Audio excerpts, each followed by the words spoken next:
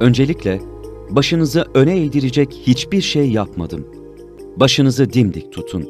Ama ben bu hukuksuzlukla yaşayamam. Belki benim ölümüm, benim durumumda olanların aydınlığa çıkmalarına vesile olur. İçim buruk. Bana bu oyunu oynayanlara ve sahip çıkmayanlara kırgınım. Yaşadıklarımı ikinci defa kaldırmam mümkün değil. O deliğe bir daha dönmektense mezara girmeyi tercih ederim. Bu şekilde ölmeyi hiç istemezdim.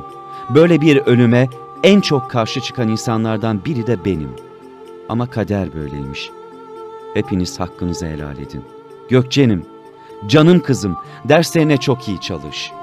İyi çalış ve önemli yerlere gel ki benim hesabımı sorabilesin. Hukuksuzluk sürecine hukuk adına saygı gösterilemez.